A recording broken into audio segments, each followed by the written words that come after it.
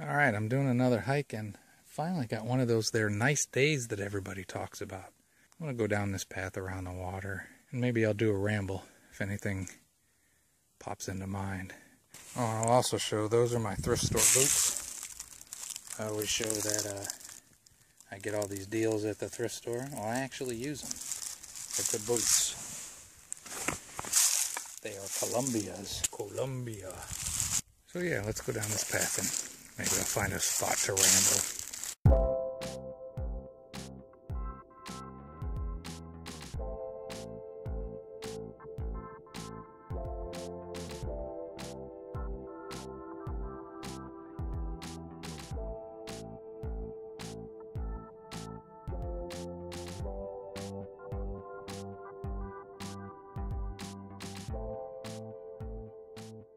It's nice to see a little patch of green. On, spring. Not a lot of green in the trees yet. Some are budding and some are not. Geese. I said before, there used to be a family of beavers that I would watch every night come in near the docks up there, but they haven't been back again. And I really do think this is uh, the work of beavers here. That this over here. Doesn't look like it's on there on its own. Something did that. Right, geese? Through the trees?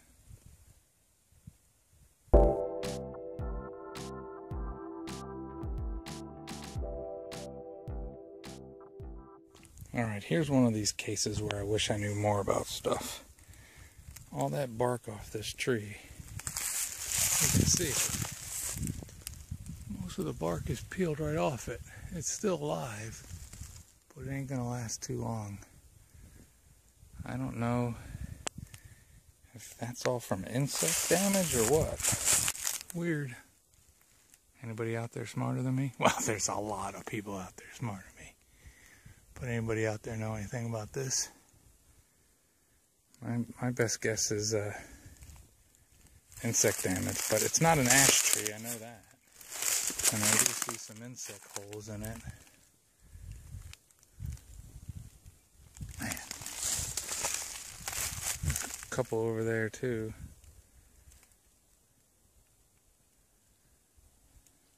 My guess is insects. Some kind of beetle. It's not an ash borer, but some kind of bug.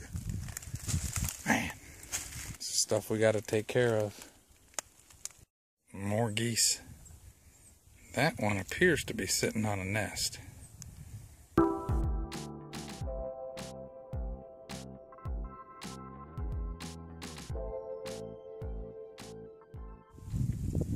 See, there's a dead tree.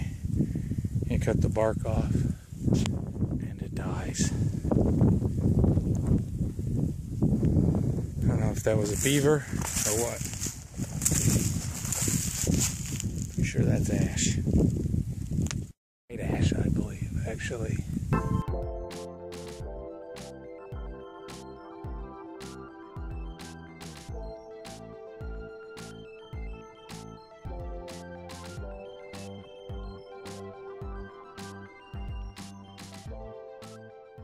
Now again, I don't claim to be overly bright, but that sure looks like where a deer has bed down. A lot of hair. A lot, a lot of hair. And no signs of foul play. I don't think anything meant its demise here. I don't really see any tracks around. Oh, yeah, I do. Good spot in it. I thought usually they uh, try to get a little bit more cover than that, though. Oh well. So, I'm to do a ramble. I'm not even sure what I'm going to ramble about yet, but I know one thing. I'm going to let you look at that stuff and because that's what I prefer. It's easier to talk and think without the camera on your face. Start off with the GoPro. Um, I really don't know what I'm going to talk about, so I'm just going to start talking. My first thought was this trip was supposed to be two weeks and I ended up staying a third week because the weather sucked. And uh, I always try to say, I think I'm going to do a video because I have a couple thoughts, but I need to get more together on how things can be different than you expect and how you have to just learn to uh, deal with it. Roll with the punches, ride the wave, whatever the hell you want to say. You got to learn to uh, roll with it. I didn't do the things I planned on doing on this trip. There's a duck. Fly, duck, fly. I, had actually hoped to do some more outside cooking and stuff like that, you know, campfire kind of stuff. But the weather just sucked. So it ended up being different than that. I had uh, I had a lot of plans to uh, kind of get the RV ready, you know, because it sat for a good portion of the winter. I try to go out every month. Did go out each month, even when it was 10, 15 degrees below zero. I haven't even really de-winterized or whatever my RV. um, when I go to a campground, I, I usually use the bathhouse and the bathroom, and this has those, so that's what I did. I bring drinking water that I use for myself and the animals. So uh, I, I haven't even filled up the tanks yet. You know, it's it's. I don't know if I'm going to flush it. If I'm going to do that before I leave, I don't know how well the weather's going to stay. Because I mean, a couple three days ago it was freezing, and now I know it wouldn't stay cold enough to do any real damage to the RV. But I didn't see the sense. So uh, yeah. So the trip was different. More cooking, more inside cooking. Broke the grill out a few times not as much. I brought a big 20 pound tank and I expected I was going to have it all used up, but that didn't happen. But back to my videos, and again, um, this uh, if I go off on any tangents, I never mean to insult anybody else because I'm not I'm not that way. My subscribers are getting up there in number, but I also at the same realize I might have a high number of subscribers, but very few people actually watch the videos. You know, if you do stuff on showing somebody how to do something, people will watch that. Or if, if sadly, if you have drama, you know, people like that. And it takes, uh, you know, people that do that do a good job because it takes a lot of effort to think of things to do. I, again, I don't insult anybody. And, you know, people mention names and stuff. I, I really don't watch that many channels. And the ones I do, I don't comment on them as much as I should. I usually hit a like because they tell me that's a polite thing to do. Luckily, I don't get a lot of hate, and I don't get a lot of people talking smack. I, I don't have to block anybody, and I rarely ever delete a comment. But you know, I'll make I'll make a video that I know will not be popular, like a sunset video. Most people aren't into that, and the clouds moving and all that. There's a handful of people that like it, and I really like it, so I make those. And for the handful that like it, cool but I just I try to show stuff that that is boring. That is purposely boring. You know, I'm not sharing much of my real life with people. I, I don't think that's YouTube's business. I don't and I think sometimes that people that seem to share a lot, they're still sharing what they want to share. You know, whether it's real or whether it's you know, reality show stuff. One of the least real things in the world are reality shows.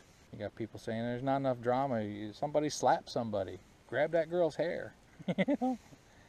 And for me, I've never been a Jerry Springer person. You know, I've never been a reality show person. I just it doesn't interest me, and I try not to judge anybody on it. But I don't feel better laughing at somebody else, or I don't feel better. Doesn't lift me up to push other people down or to to think badly of people. So I'm just not into that stuff. So I try to do my videos about, you know, even like all the cooking videos that those that watch it like, they don't get a lot of views. Not really, but I enjoy doing it because maybe somebody will say, well, you know, somebody thinks they're going to go out in an RV and just eat hot dogs all the time or just, God forbid, terrible food. You know, I don't eat super healthy. I'm not a vegan or anything. I'm not on a plant based diet, but I try to eat semi decent. So my idea is this is something I enjoy, and in some ways it helps me try to think of different ways to cook stuff because I don't want to show the same video over and over. That's an odd ramble. I'm gonna stop for a minute.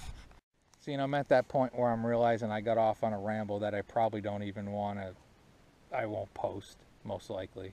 It's so easy in the RV YouTube community for those that make videos it's so easy to sound like you're you're knocking people down and people throw people's names out that they hate or they like or you know I, I just don't get that i think if somebody doesn't like my videos please don't watch don't come back every day to find a new reason to be angry you know what i mean yeah i still hate that guy well, don't watch it's just me and i think i think the people that watch watch mine are, are probably the same way I, i'm not a selfie stick camera on a stick.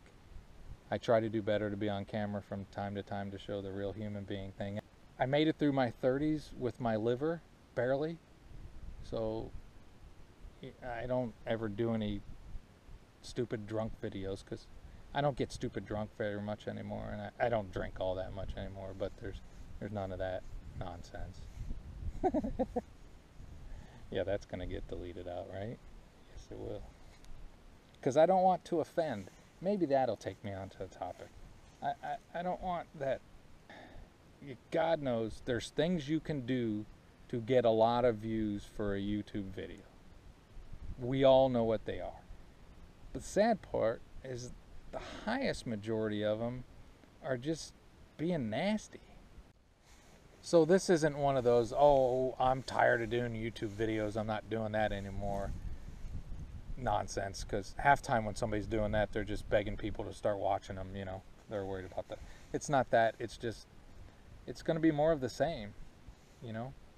And i know if views and subscribers and clicks and all that were my my goal i would do my videos a lot different it does take a lot of time and effort editing and all that stuff but you know if you help some people, that's really cool. It always seems like every time, like, oh, I need to take a break from this, because anybody that does these on a regular, you know, you get to that point where you want to take a break from it. But you'll get somebody, I got a couple posts recently, and I'm terrible at ever remembering who said what, but really nice posts and really thankful that I, I helped somebody.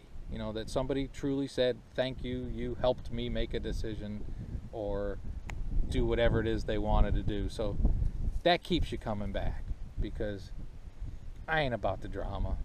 Oh, God, I'm not about the drama. And I ain't angry at nobody. I find it a lot better to make fun of myself than make fun of somebody else because except on rare occasion I usually don't punch myself, you know. but there's uh there's no need to be all nasty out there. All right, I'm going to switch to the other camera. All right, we'll break out the Lumix here. I'm not. Uh, I understand that my my editing or my uh, professional looking videos are far below the standards of many other people. And guess what? I don't care. I ain't making any apologies. I have this Lumix camera that I'm using now. It's Panasonic. I got a pretty good deal on it. I think it's a good camera. Besides that, I'm still using my cell phone, which is getting pretty old. It's a Galaxy S4 and the GoPro Hero, which is the cheapest one they make, and I bought that little Faux Pro, which I don't use very much because the mic on it is just terrible. Um, I do try to edit them, but I'm not going for a high production value. Some people hate that, some people like that. I also I'm going to put this in the stuff that I thought would be different. But when you get out there, you always think you're going to get free Wi-Fi everywhere, and it and when you do, it's it's rarely as good as you think it is.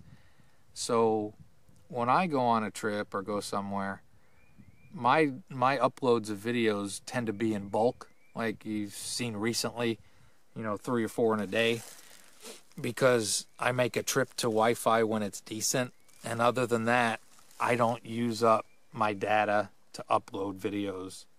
You know, I know there's a lot of people out there that their data plan is very important to them and that's how they do everything. But my data plan I use for different things than uploading YouTube videos. I don't mean that as a slight in any way because I do like doing these, but I think it also shows this is something I do because I like it. It's not a job. You know, I don't I don't look at this as a job. And I would think if I did, I'd stop. Okay, so the wind seemed to die again. So yeah, I don't do this as a job. I make a little side money on it, but I, again, it's not my goal because I would hope people would get that if it was my goal, I'd make a lot more money than I make on this. I think if you break it down, how much I make an hour, I'm probably making a nickel an hour. Popular people are making more on one video than I make in a month. But that's okay because I'm doing what I want to do. So if any of you are out there going to do videos, you got to figure out why you want to do it. If you're going to do it because you need it as as your sole source of income, I ain't judging nobody doing that. But the downside comes with that is your uh, programming or your your source material or whatever you want to call it has to become something that you need to get a lot of views on. Some people do a great job. I'm again, I, I ain't, I ain't, I ain't hating on nobody. So I have a outline of another trip in my mind, and when I get back from here, I'll probably start doing some planning. And my planning is useless, really. I think I've talked about it before. What I basically do is I, I get an idea of want, where I want to go, and then I find places along the way, and I kind of take a folder with me just in case you get someplace where you don't have any cell signal. So I kind of make a folder and I give myself options of where to go and what to see and where to stay. Okay, so when I plan those trips, um, a big part of it is, and this is going to go on that how I thought things were going to be different than they ended up being. Because of the animals, I tend to stay places where I got power. Because I've had a couple times where I've been out there in the RV and I know it's hot and I can see that it's stressful on them. And although I would much rather do more boondocking, um, I just can't do it. You know, I just feel guilty. So my thing ends up being I get to a campground, turn the air on, and then I go places. And I see other people that travel with pets that, that seem not to have that issue and, and I don't know, maybe I'm nuts, maybe I'm overprotective or something like that, but maybe I'll get some areas where it's not too hot and I can do a little bit more boondocking. But you know, we all long for the summer, and the summer is great, but sometimes the fall and even the winter is easier on you if you're traveling with pets. So I guess this video traveled into the whole why I make YouTube videos kind of thing. But I just want to say, I know my, my viewer count is getting up there, my subscribers.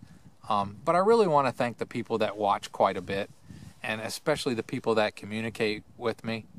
You know, I, I really enjoy that. I hope, I hope sometimes you enjoy the communications back, and thank those people that watch it and, and feel they get something from it. And also want to thank the people that don't like it. You know, like you watch one and you don't like it, but you're nice enough not to call me a jerk or or make fun of me or you know just be nasty. There's enough nasty out there. So those that bite their tongue and don't say scathing things, I want to thank you, seriously, because it's probably warranted quite often. But you got to laugh at yourself sometimes and don't take yourself too seriously. Okay, so we'll come back over here. So I, I got to close in on wrapping up because nobody wants to listen to this nonsense too long. Um, but I like to sometimes say, okay, I make these videos, I do what I do, but when this guy goes out in his RV, what does he actually do? Well, this is kind of it. you know, I, I like food, so I, I do a lot of cooking. Um, sometimes I make videos of it. I, I like to get to a place, know that the two fur balls that, again, I'm not ever going to apologize for. And even though they get on my nerves and I know my travels would be easier at times without them, I'm not complaining about them and I'm not like going to get rid of them. But um, so I get there, I get them settled in, and I, I go wander. You know, I walk around, I go on a hike like this, and I'm sitting here talking at a camera this time. But a lot of times I'm just sitting here checking things out, looking at stuff pondering nothingness and pondering everythingness. if I make a if I make a long sunset video, it's usually the GoPro is sat in a spot near me and just records and then I speed it up because I like that crap. And other than that, I'm sitting next to it and enjoying it. Sometimes I'm talking to people, and sometimes I'm not. So yeah, if you're gonna do this, if you have a pet, you'll have a great time with a pet. If you don't have a pet, do some of this first and then decide if you want a pet after you've done it for a while. See if uh, a pet would add to your journeys or if they would impede your journeys. And then make a decision on what's best for you and whatever pet you might have. So there's the pets wrapped into this. Isn't this a beautiful spot? I'm going to get the other camera and put it in front of this, talk to it, and see how much better the picture looks than the GoPro Hero. Again, I'm not trying to be Spielberg. I'm just, I'm who I am. I'm a doofus with a GoPro in a cell phone. All right, so I literally set the Panasonic Luminix. It's the DMC FZ70 directly in front of the GoPro Hero to see the difference between the picture quality. I'm sure the Panasonic is a little bit better. I got that on a really good deal. Everything I'm, I do on is on a budget. you know, thrift stores, all that kind of stuff. Well, I buy more crap from the thrift store than I need. I'm gonna admit it. I ain't lying to myself. It can get fun and, and then get a little too fun. But I like to think the things I buy I put to good use. And I also know that a few people have asked me about this spot. This one's a secret, and I'm not meaning that to be a jerk. It's my private little secret place. When I go on a lot of my other places, I tell you exactly where I've stayed. I mean, I include GPS coordinates sometimes, trying to help people out. But every now and then we get some that's just for us. I also hope that some people can understand, put yourself in the position of a person that makes YouTube videos. Um, try not to judge somebody on how much information about their own personal real life that they share on YouTube. Because if you think about it, it's a it's a great big weird internet out there sometimes. So I think most people try to be a little bit careful. so there, I did a ramble. I don't know what it is. The hardest part about doing a lot of videos, especially rambles, but like most of them, is the editing process.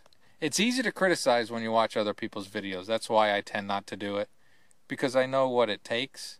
Rarely do most people's, oh, I, I can't speak for other people, but rarely for me do my videos ever turn out really how I wanted them to, especially the rambles. I, I have some friends and, and a lot of a lot of people do enjoy the rambles, but you know when I sit down and I'll edit this, could you be any more Captain Obvious? You know what I mean? Telling people shit they are stuff they already know. I try to edit out the swearing because you know it's not necessary. Um, but that's an indication of how my real life is different than my YouTube. The propensity for swearing is much much higher in real life. We'll just say that that swearing on YouTube videos, I don't think I need to do it. In my real life, sometimes it seems more appropriate. so for those of you that watch a lot, again, thank you. Um, hopefully it's that that idea that okay, when I know I put one of his videos on, he's not going to insult anybody. He's not going to ask me for any money. Again, I'm not judging other people. I'm just saying. I guess I'm just going to say it's pretty much going to be more of the same.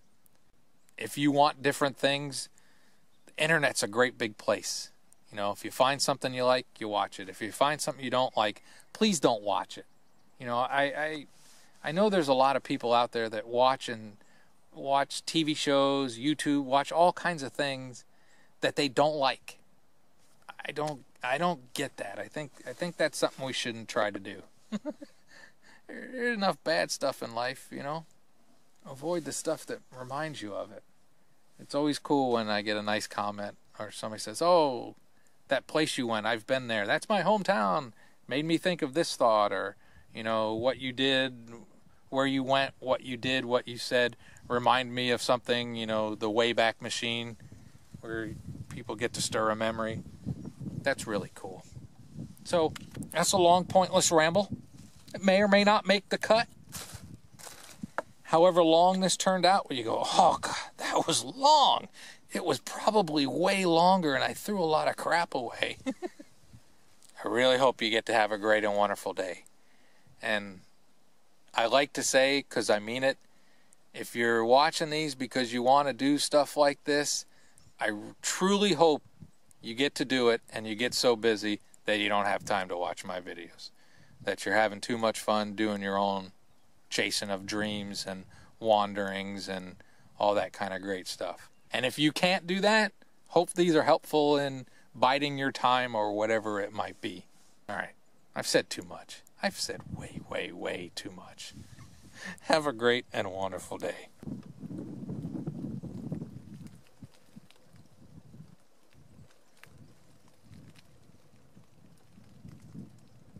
All right, now it's time for me to walk all the way back to Cousin Eddie and the Furballs. Did you really make it all the way to the end of this ramble? It's amazing. Have a great, and wonderful day.